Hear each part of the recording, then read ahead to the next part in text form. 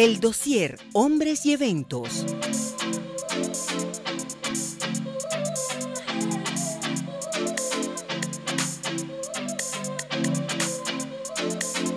El objetivo principal de esta carrera es llevar un mensaje muy claro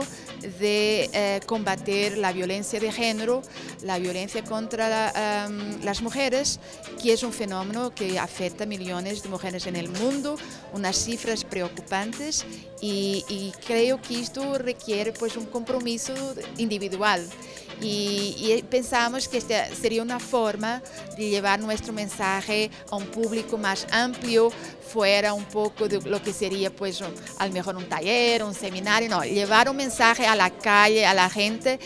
hombres y mujeres, jóvenes y menos jóvenes, que es importante cada uno asumir este compromiso de decir que basta ya de violencia contra las mujeres. Nuestra cooperación está dirigida al empoderamiento y participación de la mujer y en esta ocasión un día tan relevante, tan entusiasmado, queremos hacer sensibilizar a todos y cada uno de los ciudadanos, en este caso en Venezuela,